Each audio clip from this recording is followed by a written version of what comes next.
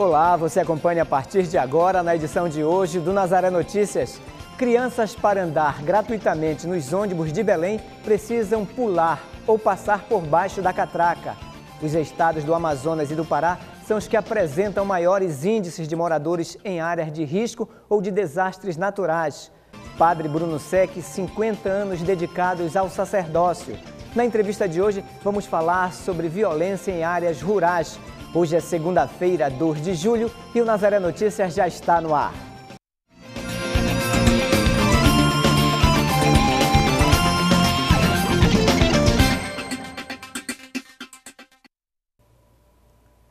Começamos o Nazaré Notícias de hoje falando sobre crianças e transporte público. Nossa produção recebeu na última semana uma informação via WhatsApp sobre crianças de até 6 anos que, para andar gratuitamente nos ônibus de Belém, precisam pular ou passar por baixo da catraca dos coletivos, uma prática que fere o Estatuto da Criança e do Adolescente. Não é difícil andar de ônibus em Belém e ver esta cena. Só que o que parece normal, na verdade, fere os direitos da criança e do adolescente, garantidos no Decreto 2521 de 1998, o que vem preocupando a Ordem dos Advogados do Brasil. É, o ECA, no artigo 3 ele resguarda os direitos fundamentais da criança e do adolescente e é uma situação totalmente absurda, porque as crianças se machucam, as crianças ferem o joelho, as crianças se sujam no momento de ir para a escola então, é, a OAB vê de forma é, totalmente desatrelada ao que diz o nosso ordenamento jurídico. Para tentar coibir essa prática, o órgão vem trabalhando em um projeto que deve ser encaminhado à Prefeitura de Belém. A comissão da criança e adolescente, ela vem atuando de forma efetiva. Nós fazemos reuniões constantes com a prefeitura. É, esse ponto será levado, após essa denúncia, é, a conhecimento. É um trabalho que nós já é, estamos constantemente fazendo, trazendo essa discussão para a pauta, né, como cumprindo a nossa função social de fato, que é o bem da sociedade, buscar nós como comissão da criança e do adolescente resguardar esses direitos. Em Fortaleza, no estado do Ceará, as crianças de até 7 anos já podem utilizar o transporte público de forma gratuita com uma carteira estudantil, identificando que está regularmente matriculado em uma escola. Enquanto isso, em Belém. A gente às vezes vai por trás, que eles abrem assim, aí tem pessoa que vai, que vai descendo, aí a gente vem. Tem uns que deixam que falam assim, é, eles têm que estudar, é, pode, pode abrir para eles. Aí tem uns que, acho que não deixam e tem uns que deixam. Mesmo com constrangimento, esse tipo de situação ainda não pode ser criminalizada. Na verdade, é uma discussão muito abrangente ainda. Né? No cenário nacional, nós temos um, um, uma comissão federal que trata também sobre esse assunto, onde o doutor Ricardo Washington, que é o presidente da comissão, faz parte.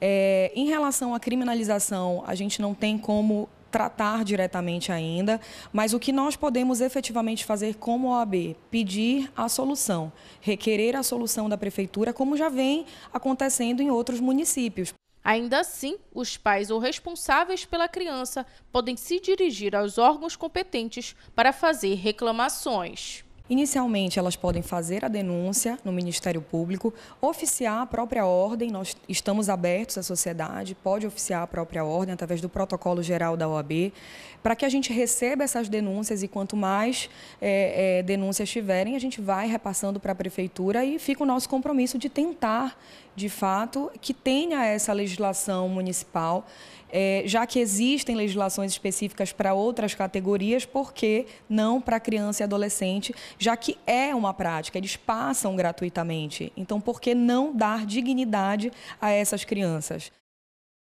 E agora vamos falar dos preços das passagens. O mês de férias começou e, com ele, o número de venda de passagens deve aumentar neste período de veraneio. De acordo com o Departamento Intersindical de Estudos Socioeconômicos, o custo dos transportes para os principais balneários deve aumentar a partir dessa primeira semana de julho. O custo do transporte rodoviário interestadual está mais caro em relação ao mesmo período do ano passado. O reajuste de 1,447% foi autorizado pela Agência Nacional de Transportes Terrestres. Ainda de acordo com o Diese, o transporte rodoviário intermunicipal não teve aumento no valor da tarifa em relação ao mesmo período do ano passado. No caso específico da linha urbana de Mosqueiro, as passagens estão mais caras em cerca de 6% em relação ao mesmo período do ano passado. O reajuste no valor da passagem saiu de R$ 5,00 para R$ 5,30. E agora vamos falar de moradia. De acordo com dados do IBGE divulgados na última semana, os estados do Amazonas e do Pará são os que apresentam maiores índices de habitantes morando em áreas de risco ou de desastres naturais.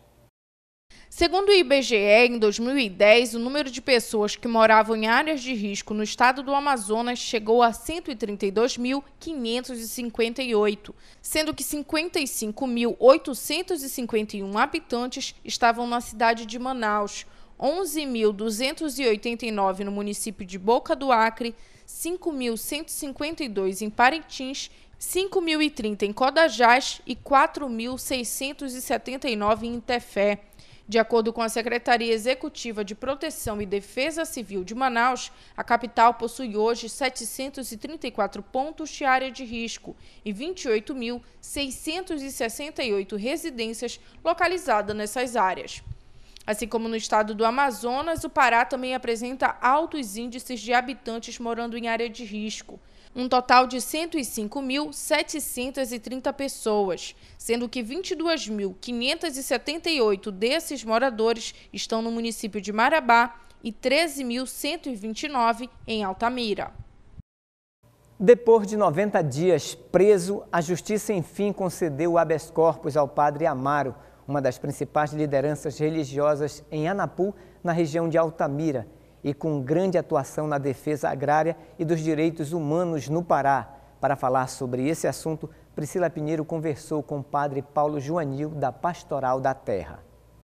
Após 90 dias presos, Padre Amaro foi solto na região de Anapu. A região de Anapu é uma área de muitos conflitos de terra e foi lá, inclusive, que a irmã Dorothy Steng foi assassinada no ano de 2015. E para falar um pouquinho sobre esse conflito, sobre a luta da igreja nessa região, eu vou conversar agora com o padre Paulo Joanil da Silva, da Comissão Pastoral da Terra. Padre, muito obrigado pela sua participação aqui no Nazaré Notícias. Padre, sem dúvida, a igreja se faz presente nessas, nessas regiões há muito tempo e a irmã Dorothy foi uma grande incentivadora do projeto de desenvolvimento sustentável. Como é que você vê a participação da igreja nessas localidades que é, existe um grande conflito? A igreja do Xingu, como toda igreja no mundo, ela tem uma presença na sociedade, uma presença missionária, uma presença a serviço do reino de Deus junto aos pobres esse aprendizado, essa história da igreja missionária profética, ali na região de Anapu, se tornou uma forma muito presente de testemunhar o projeto de Jesus de Nazaré, que é vida plena para esse povo, o povo camponês, o povo migrante, os pobres abandonados. E Anapu é uma região muito cobiçada por grandes projetos econômicos, grandes grupos ligados ao latifúndio, que busca unicamente a terra para gerar lucro e não para gerar vida e nem para gerar uma produção sustentável na região. E o trabalho da igreja, o trabalho missionário, através das pessoas consagradas, como a irmã Dorothy, Padre Amaro, na figura dos bispos, como Dom Erwin e agora Dom João Muniz, é um testemunho real de que a igreja se esforça para cumprir a sua missão essa missão dada por Jesus de Nazaré, que é defender a vida.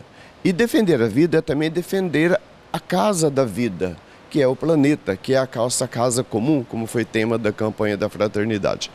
E essa presença da igreja missionária profética incomoda certos setores da sociedade que vê a região, vê a terra, vê a natureza unicamente como objeto de lucro e, em cima dessa sede insaciável do lucro do custo, cometem violência. Grilam as terras, roubam madeiras de forma criminosa, sem, sem licença e, acima de tudo, tiram vidas. Na região de Anapu, ultimamente, tem sido uma localidade do Pará onde mais tem se cometido violência.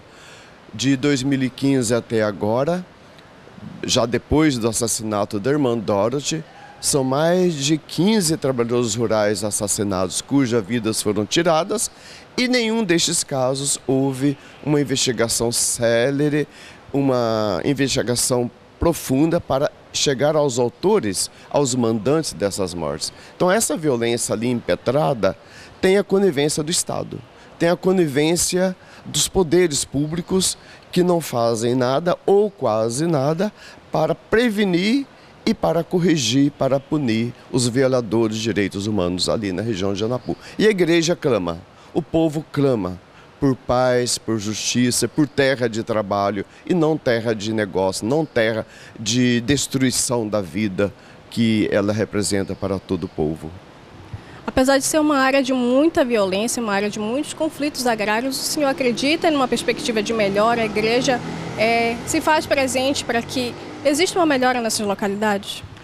A igreja sabe muito bem porque está trabalhando na defesa desse povo oprimido da Amazônia e ali em Anapu. Os missionários e missionárias que ali trabalham têm clareza da fidelidade ao Evangelho e das orientações dos pastores. A igreja missionária tem clareza dos seus objetivos, por isso nós temos esperança. A esperança é para nós uma luz já presente, não no futuro.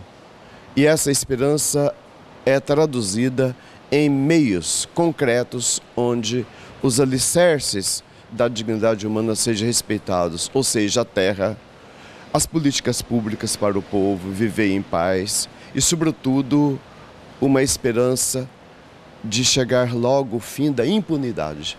É essa impunidade que reina em Anapu é que nos deixa muito entristecidos e inquietos. Um exemplo dessa impunidade é a criminalização dos movimentos sociais e de lideranças. Assistimos há 13 anos, até hoje conservamos a marca do martírio da irmã Dorothy, uma vida de uma consagrada ao reino, de Deus, à igreja e ao povo, a vida foi tirada de uma maneira covarde, de uma maneira assim planejada para que a causa dela, que é a causa de toda a igreja, fosse eliminada. Mas não. Essa esperança se tornou carne na Amazônia a igreja encarnada na Amazônia. O povo ficou mais forte, carregando o legado do martírio de Irmã Dorothy e continua o trabalho. Vamos já lembrar um pouquinho o que foi que aconteceu com o Padre Amaro. Ele ficou preso 90 dias, apesar de várias ações né, para a soltura, várias entradas de habeas corpus para tentar soltar o Padre Amaro. Ele continuou preso num prazo de 90 dias. É, o senhor pode esclarecer para a gente quais foram as acusações, o que houve com o Padre Amaro, de que forma a igreja é, lutou para conseguir a liberdade dele? Sim, foi atribuído ao Padre Amaro várias acusações promovidas e arquitetadas por um grupo de latifundiários, se dizem fazendeiros da região de Anapu, que tem como único objetivo roubar as terras dos camponeses, dos projetos, dos PDS ali. E a igreja local, na figura do Padre Amaro, das irmãs e de toda a região, toda a prelazia, defendeu a justiça. Então foi atribuído ao Padre Amaro várias acusações, esbulho possessório, organizador de quadrilhas armadas e até coisas pessoais. Todas essas acusações já foram destruídas por terra. Os advogados, com suas capacidade jurídica e clareza, conseguiu graças a, também a toda uma luta nacional e internacional de pressão, e o STJ, então, concedeu o habeas corpus ao Padre Amaro. Ele continuará respondendo em liberdade às acusações. Os nossos advogados têm clareza de que todas elas serão mais cedo possível é, eliminadas, porque são acusações levianas, sem provas, e se houver prova, o Padre Amaro, como cidadão do bem, como cidadão digno, ele vai responder conforme a lei. O que nós não podemos aceitar é uma injustiça e a criminalização sem provas. O Padre Amaro ele continua né, os trabalhos da irmã Dorothy nessas áreas. Como é que é feito o trabalho dele? Como é que ele é engajado nessa região de Anapu? Sim, o Padre Amaro ele é o pároco da paróquia Santa Luís de, de Anapu e também membro da equipe da CPT local, porque cada diocese, na maioria e prelazias da Amazônia, existem as equipes missionárias pastorais da terra. E o trabalho continua, mesmo com a prisão dele dos 90 dias, o trabalho nunca parou um minuto sequer. A equipe continuou. Porque esse trabalho não é propriamente um trabalho de pessoas, é um trabalho da igreja. E a equipe missionária, as irmãs, o padre, leigos, é uma equipe missionária da igreja, são pastores. Então, é como o evangelho de ontem, quando Pedro e Paulo estavam presos, os cristãos rezavam e continuaram o trabalho. Então há toda essa ligação da motivação da fé, do evangelho, que continua o trabalho. Claro que é uma tristeza, é uma decepção, mas que essa tristeza não se traduz no fracasso. Ao contrário, o sofrimento, a perseguição produz mais esperança, produz mais energia, produz mais certeza de que a verdade vencerá. A liberdade é uma, é uma realidade que se conquista cada dia. Portanto, agora com a liberdade do Padre Amaro, a igreja se sente aliviada, o povo se sente mais aliviado e esperançoso de que a luta ainda não terminou. A paz na terra e terra de justiça para o povo ainda não alcançamos, mas isso é um projeto, é um processo permanente, de modo que a gente não se decai, não desanima diante da perseguição. Isso faz parte da lógica cristã da lógica dos evangelizadores, não se acabrunhar diante de fracassos, de barreiras, mas o sangue dos cristãos, a perseguição nos fortalece. Como o senhor mesmo falou, serão os próximos passos. Né? A igreja não pode parar, a luta da Comissão Pastoral da Terra também não pode parar. Para vocês, quais são os próximos passos? De que forma vocês vão atuar eh, a partir de agora com a soltura do Padre Amaro? Né? Não só a igreja né? nessa região. Sim, o trabalho continua ele nunca foi interrompido. Com a prisão do Padre Amaro, nunca o trabalho missionário na paróquia de Santa Luzia Napu, o trabalho do CPD foi interrompido. Nem um minuto sequer. Não houve nenhum momento de desânimo. Ao contrário, houve momentos muito tensos de vida de oração e de missão. E agora, com a liberdade dele, é claro que novas luzes se acendem, novas certezas são dadas para esse trabalho as convicções são as mesmas de que o trabalho da Comissão Pastoral da Terra é um trabalho de evangelização, um trabalho de defesa da vida aos povos da terra, para que haja pão, dignidade, paz e respeito. E que a terra é um dom de Deus para todos e não objeto de interesses do capital, do agronegócio, que só visa o lucro e a destruição e a morte, só visa o saque dos bens da natureza. E na Pastoral da Terra, nossa missão a terra lugar de vida, de trabalho e de viver em paz na dignidade humana. De modo que o trabalho da CPT, o trabalho da igreja, ele é além desse percurso do caminho. Ele vai além dessa onda da perseguição, da criminalização. Isso para nós é que nós chamamos da espiritualidade do trabalho da terra, a, a mística eh, que sustenta a nossa causa. É esse mistério de fé encarnado nas nossas práticas que nos dá essas luzes, essas diretrizes de continuarmos fiéis ao trabalho da igreja na Amazônia.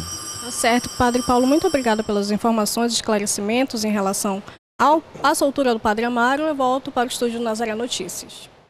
E agora nós vamos falar de saúde. De acordo com a Secretaria de Saúde do Acre, os casos de sífilis adquirida em adultos cresceu 72% nos últimos 12 meses enquanto o registro de pessoas com AIDS diminuiu. Durante todo o ano de 2016, o estado do Acre registrou 586 casos de sífilis adquirida em adultos. Em 2017, o número saltou para 1.007 pessoas, um aumento de 421 casos.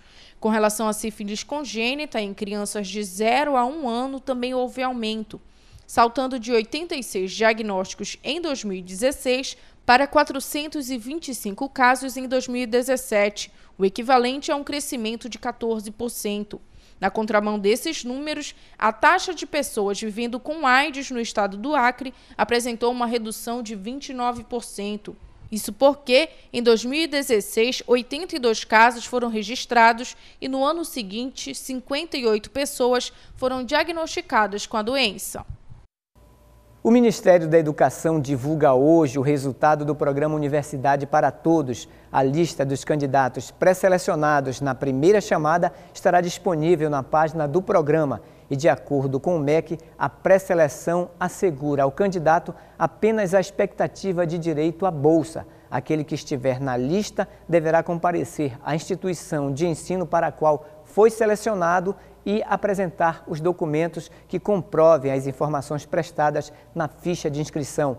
O candidato deve verificar na instituição os horários e o local de comparecimento para a aferição das informações. A perda do prazo ou a não comprovação das informações implicará automaticamente a reprovação do candidato.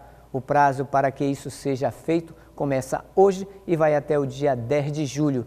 A lista com a documentação necessária pode ser consultada na página do ProUni. O resultado da segunda chamada será divulgado no dia 16 de julho. Nos dias 30 e 31, aqueles que não foram selecionados poderão ainda participar da lista de espera, cujo resultado será divulgado no dia 2 de agosto. Nos próximos dois anos, somente 19% dos brasileiros pretendem ter filhos é o que mostra uma pesquisa sobre natalidade divulgada pelo IBOP. Do total de entrevistados, 79% não pretendem ter filhos até 2020. Porém, você vai conhecer agora uma exceção, um casal que desde o matrimônio sonha em aumentar a família e sabe do valor dos filhos dentro de uma união. A Igreja Católica não cessa de afirmar que os filhos são dádivas de Deus. Esse pressuposto ajuda para que os filhos não sejam compreendidos como um problema. A vontade de dar a vida a uma criança aflora ainda mais depois do matrimônio, como para esse casal. Sim, essa vontade sempre existiu, né? A gente imagina que um filho vem ser a realização, falando no meu caso com um homem, né? E Sempre tive essa vontade. Para as mulheres, com o amadurecimento e as realizações profissionais, chega a hora de pensar em ter um filho. A maternidade para a mulher, ela toma um tom diferente, né? A mulher, ela, ela primeiro, ela, quando atinge a fase adulta, ela vai buscar as realizações profissionais. A gente encontra uma pessoa que que quer compartilhar dos mesmos objetivos, as aspirações do futuro. E quando chega na casa dos 30, é, do 30 é inevitável para a mulher, né? O tempo biológico ele fica é, inconscientemente te cobrando e a gente decidiu que era hora de, de abrir as portas para que Deus mandasse um príncipe ou uma princesa. Para essa psicóloga, antes de formar uma família, o casal precisa estar preparado psicologicamente. Quando a gente vai falar dessa preparação para o matrimônio e, consequentemente, a preparação para uma maternidade, nós vamos falar de preocupações tanto no psicológico, no financeiro, também no físico. Muitas mulheres precisam, quem fuma, deixar o cigarro, quem utiliza algum entorpecente também cancelar. É necessário que o corpo, isso eu estou falando do físico primeiro, tá? É necessário que o corpo tenha todo esse cuidado. Hoje a medicina está bem avançada, algumas mulheres se preparam com alguns ácidos para uns três meses antes para poder levar uma gestação tranquila. Mas eu preciso do meu lado psicológico, do apoio do meu cônjuge para que a minha maternidade seja tranquila. Uma pesquisa do IBOP sobre a natalidade apontou que em dois anos, apenas 19% dos brasileiros pretendem ter filhos, 17% deles por gravidez e os outros 2% pretendem adotar. Do total de entrevistados, 79% não pretendem ter filhos até 2020. Fatores financeiros influenciam para essa decisão. Eu acredito que mais a questão financeira, né, por crises que passamos, por essa dificuldade de você hoje ter essa educação, a saúde. Então, acho que o maior, né, se formos falar por números, questão de percentuais, eu acho que o financeiro acaba né, sendo bem mais elevado. Para receber uma criança, é preciso planejamento. Sim, é muito importante. Né? Nós vivemos hoje tempos de crise política, recessão econômica, a própria crescente da violência. Então é muito importante que os casais planejem, façam toda uma avaliação da estrutura e para que essa criança venha se desenvolver num ambiente favorável. É, depois de um ano de união, a gente decidiu que realmente era a hora. Mesmo pelo avançar da minha idade, já, já entrei na, na casa dos 30, já tem um pouquinho de tempo. E a gente decidiu que a partir de então, é, a gente tomou alguns cuidados médicos, procurou a ajuda médica para que ele venha com saúde, né? E aí esperando a hora que Deus vai mandar. E aí eu preciso desse casal bem estabilizado, desse casal bem equilibrado psicologicamente, para que possam dar esse retorno à criança, né? para dar o equilíbrio, para que essa criança tenha neles o espelho como referência, como um exemplo de pessoas corretas, idôneas, equilibradas psicologicamente, para que a criança não venha mais tarde a ter ansiedades, depressão, alguns outros transtornos que a gente acaba vendo que vai desencadeando em virtude da nossa criação. A chegada de um bebê deve coroar a união do casal. Nós que, que viemos, viemos buscando nossos, nossos interesses particulares, profissionais, chega um momento que essa criança vem coroar, né? Ela vem, vai trazer alegria, trazer vida para a família.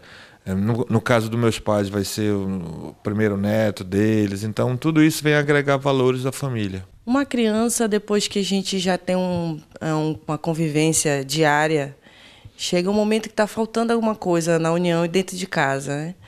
E acho que ele vai trazer o brilho, não que não tenha brilho a união, é perfeito é, o dia a dia, a, o, o companheirismo, mas a criança ela vai trazer o brilho e daqui para frente um outro olhar, um outro dia a dia, o acordar de madrugada, outros passeios, enfim, vai trazer, acho que, o brilho definitivo da união. E agora vamos falar sobre os imigrantes venezuelanos. Em apenas seis meses, o número de pedidos de refúgio de venezuelanos no estado do Amazonas dobrou, chegando a 4.000,7 solicitações. De acordo com os dados da Polícia Federal, de janeiro a 26 de junho deste ano, 4.779 pedidos de refúgio por venezuelanos já foram feitos só no estado do Amazonas. Entre os estados brasileiros, o Amazonas é o terceiro com maior número de pedidos de abrigo de refugiados atrás somente dos estados de São Paulo, que concentra 28% das solicitações, e Roraima, com 47% delas. Para atender essas pessoas, a Arquidiocese de Manaus abriu três postos de atendimento. São eles: Paróquia São Geraldo, que atende cerca de 15 pessoas por dia, Igreja Nossa Senhora dos Remédios, com 20 atendimentos diários, e Caritas Arquidiocesana de Manaus, com 30 atendimentos por dia. E você pode participar da produção aqui do Nazaré Notícias. É só enviar para nós sugestões de entrevistas ou de reportagens para o nosso WhatsApp. O número é o 988023444. Aí você informa o seu nome e a sua cidade. Ajude os meios de comunicação da Arquidiocese de Belém. Seja mais um e faça parte da família Nazaré. Ligue 4006-9211. E você acompanha ainda nesta edição Padre Bruno Sec, 50 anos dedicados ao sacerdócio. Campanha da Fundação Nazaré de Comunicação Seja Mais Um ganha mais adesões. A Igreja de Belém inaugura área de missão em Marituba. Voltamos com Nazaré Notícias e agora vamos falar sobre vocação. Próximo ao mês de agosto, dedicado às vocações, o dom do sacerdote é um chamado de Deus plantado e nutrido no coração. O sim é um ato de amor e fidelidade a Cristo. Um dos homens que recebeu este chamado e disse sim a ele foi o padre Bruno Sec, que no último sábado completou 50 anos de sacerdócio. Ele veio de longe para cumprir o seu chamado de evangelização aqui no Pará. Nascido na ilha da Sardenha, na Itália, Padre Bruno se naturalizou brasileiro e desde então vem defendendo a causa cristã. Em 1970, por exemplo, Padre Bruno começou um trabalho de assistência a meninos e meninas em situação de rua, na República do Pequeno Vendedor. Conhecido por sua atuação em defesa dos direitos da criança e do adolescente, na década de 80, Padre Bruno participou das ações políticas no Brasil, que resultou na criação do Estatuto da Criança e do Adolescente, um marco na história do país.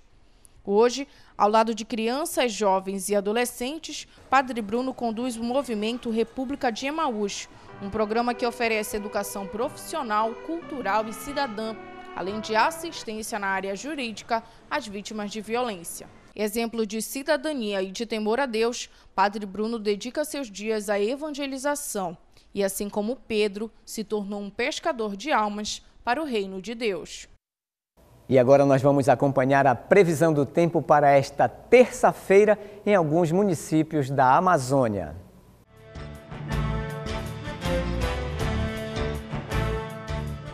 Em Capitão Poço, a previsão é de tempo parcialmente nublado nesta terça-feira. Os termômetros marcam temperatura mínima de 24 graus e a máxima de 33. O tempo seco e quente deve continuar na cidade modelo. O sol forte deve se manter durante boa parte do dia. A temperatura mínima fica em 23 graus e a máxima chega a 32. No município de São Domingos do Capim, a terça-feira terá sol com nuvens. Não há possibilidade de chuva. A temperatura deve variar entre 24 e 33 graus. Na cidade de Tefé, no Amazonas, a chuva deve aparecer nesta segunda e para amanhã a previsão é de dia encoberto. A temperatura mínima registrada será de 25 graus e a máxima de 31. Em Macapá, capital do Amapá, o tempo fica parcialmente nublado. De tarde, há chuva e ventos fortes no município. Mesmo com a chuva, a temperatura fica entre 23 e 34 graus. E em Tangará da Serra, no Mato Grosso, assim como no final de semana, o sol forte deve predominar nesta terça-feira. Os termômetros marcam temperatura mínima de 20 graus e máxima de 33.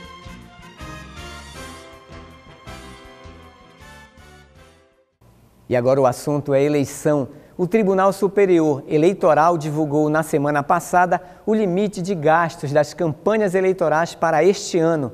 Para o cargo de presidente da República, por exemplo, o teto será de 70 milhões para o primeiro turno. Caso haja segundo turno, 35 milhões serão acrescentados à campanha. Já o limite fixado às campanhas para deputado federal ficou em 2,5 milhões e 1 milhão para os cargos de deputado estadual ou distrital. No caso das campanhas para governadores e senadores, o limite de gastos vai variar de acordo com o eleitorado de cada estado. Os estados com população de até 1 milhão de eleitores terão seus gastos limitados a um teto de 2,8 milhões para a campanha ao governo estadual, com acréscimo de 1,4 milhões em caso de segundo turno.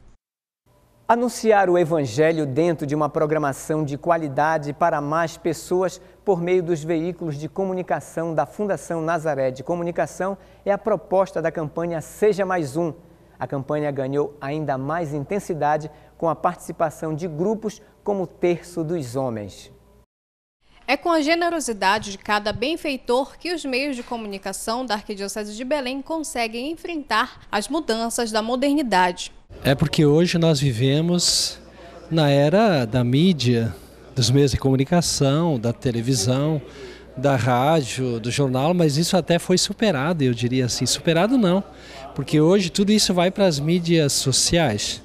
Nós podemos é, trabalhar aquilo que passa, que vai pela TV, pela televisão, pela rádio, nas mídias sociais e podemos mandar pelo mundo inteiro. Então essa contribuição ela se torna ainda mais eficaz, mais importante.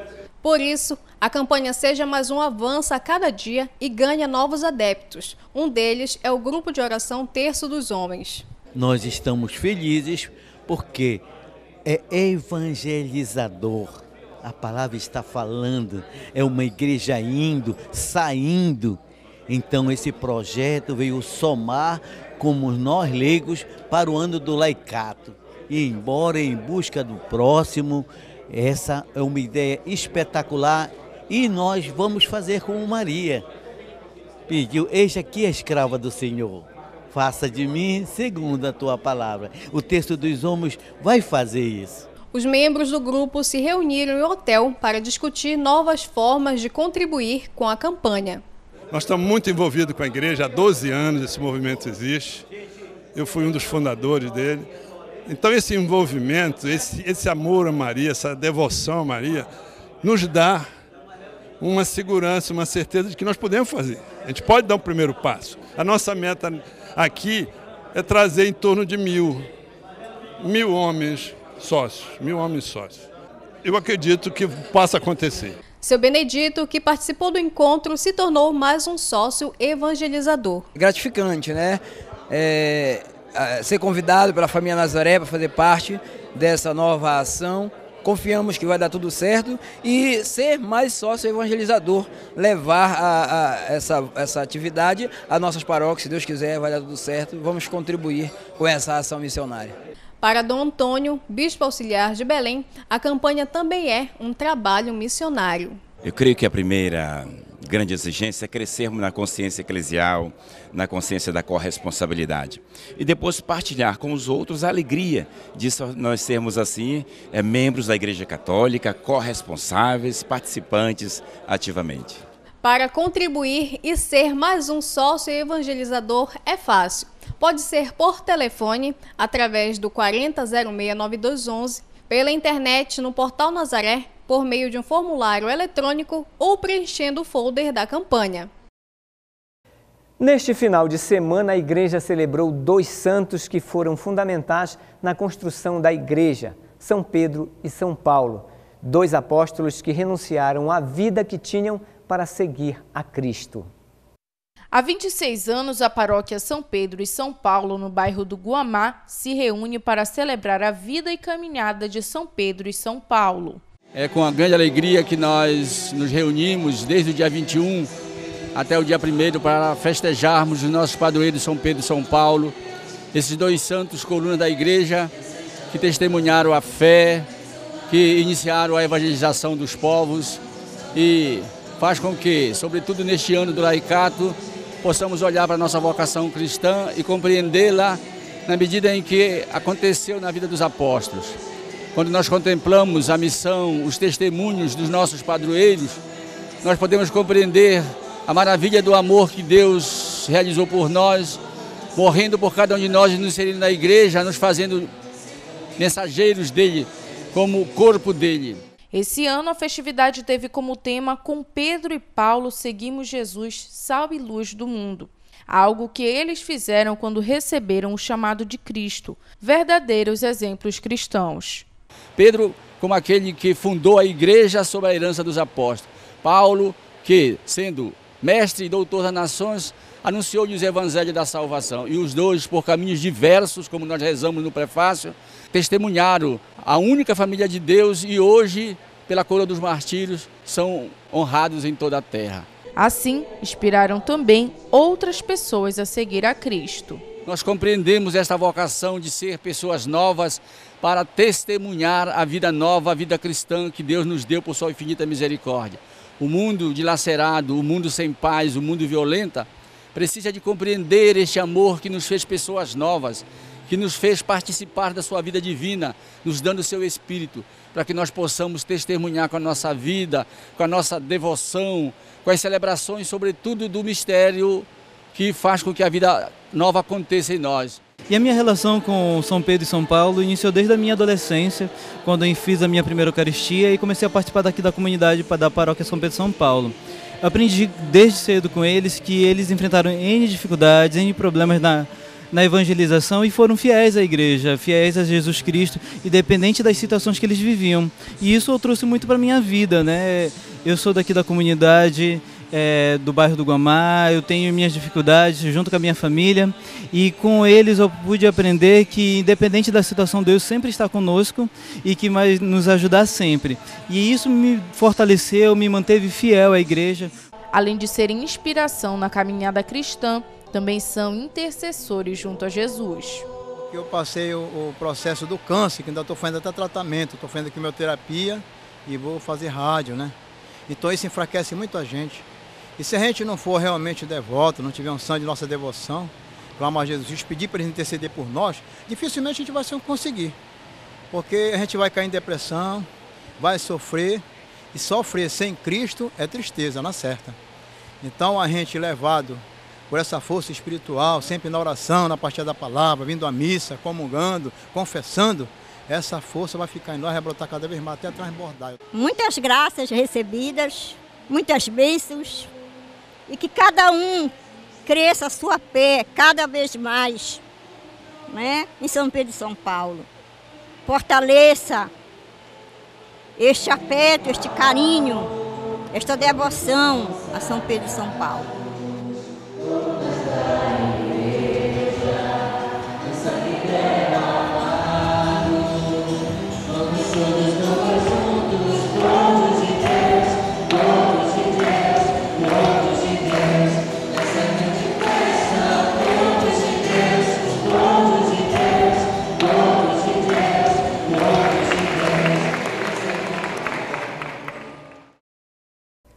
A Arquidiocese de Belém inaugurou mais uma comunidade católica, desta vez no bairro de Canaã, em Marituba.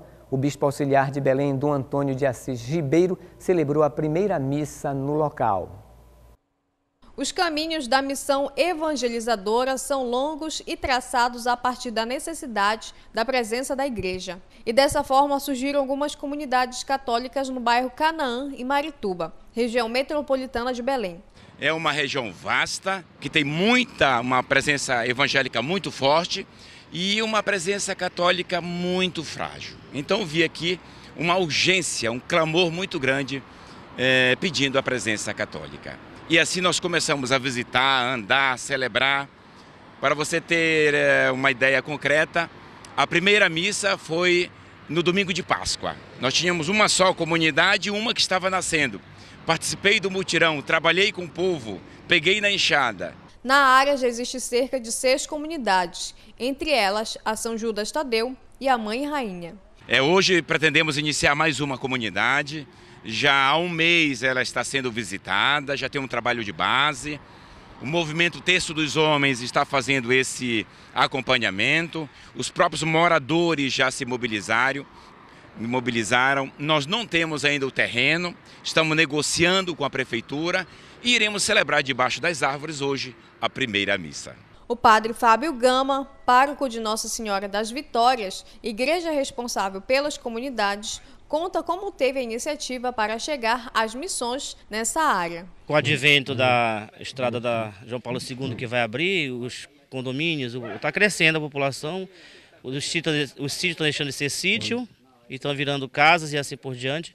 E aí eu vi a preocupação da igreja de estar presente, o povo, nesse, o povo ir atrás da gente, padre, e quando vai ter missa, padre, vai lá nos visitar, e a gente vai nos organizando, aí foi quando Dom Antônio foi eleito o bispo auxiliar de Belém, veio nos fazer uma crisma, eu falei a realidade da paróquia para ele, e ele pegou, assumiu junto com a arquidiocese, o nosso arcebispo e os dois bispos auxiliares, a necessidade da presença da igreja, dos movimentos, das pastorais que o povo está pedindo, né?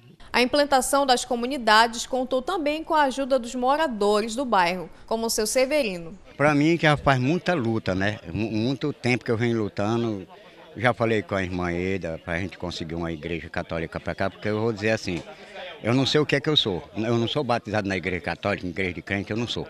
Eu disse assim, eu vou botar na minha cabeça, eu vou trazer uma igreja católica que seja o ponto assim de ser aquele negócio fixo para não ter atrapalho nenhum. Todo mundo aqui a maioria é católico mesmo. Para a dona Raimunda, a presença da Igreja Católica na localidade é importante. Fica mais perto para nós de a gente vir e longe não dá para a gente ir, né? Porque não tem condição. Ainda mais que nós moramos longe, nós moramos do outro ramo para lá. É isso. Dom Antônio de Assis Ribeiro celebrou a primeira missa na comunidade de São Benedito. Um local simples, mas com forte presença da igreja. Vale agradecer, bem dizer adorar. Estamos aqui, Senhor, ao teu dispor, para louvar e agradecer. E essas foram as notícias de hoje. E para dar sugestões de entrevistas ou de reportagens, é só enviar para o nosso WhatsApp. Número é o 988023444. Mas se você quiser rever nossos vídeos, acesse o portal Nazaré, www.fundacionazaré.com.br ou acesse a nossa página no Facebook. Ajude os meios de comunicação da Arquidiocese de Belém, seja mais um e faça parte da família Nazaré. Ligue 4006-9211. O Nazaré Notícias de hoje fica por aqui. Nos encontraremos amanhã na próxima edição. Até lá!